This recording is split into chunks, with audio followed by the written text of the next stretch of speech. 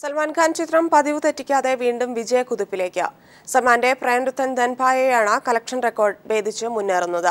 ചിത്രത്തിന്റെ ഹിന്ദി പതിപ്പിന്റെ ആദ്യ അഞ്ചു ദിനങ്ങളിൽ മാത്രം നൂറ്റി അൻപത് കോടിയാണ് കളക്ഷൻ സല്ലു ചിത്രം നൂറ് കോടി ക്ലബിലെത്തുന്നത് ഇത് ഒൻപതാം തവണയാണ്. ചിത്രത്തിന്റെ ഹിന്ദി പതിപ്പിന്റെ ആദ്യ അഞ്ച് ദിനങ്ങളിലെ കളക്ഷൻ മാത്രം നൂറ്റി അൻപത് കോടി പിന്നിട്ടെന്നാണ് പുറത്തുവരുന്ന കണക്ക്. കൃത്യമായി പറഞ്ഞാൽ നൂറ്റി നാൽപ്പത്തി ഒൻപത് കോടി മുപ്പത്തിയൊൻപത് ലക്ഷം രൂപ.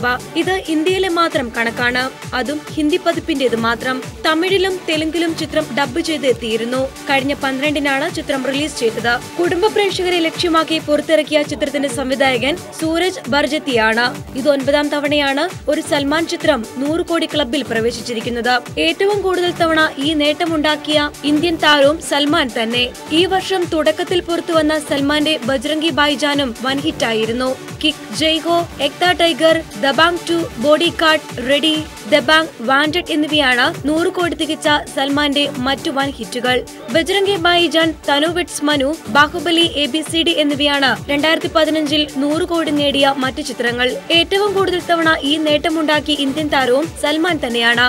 News desk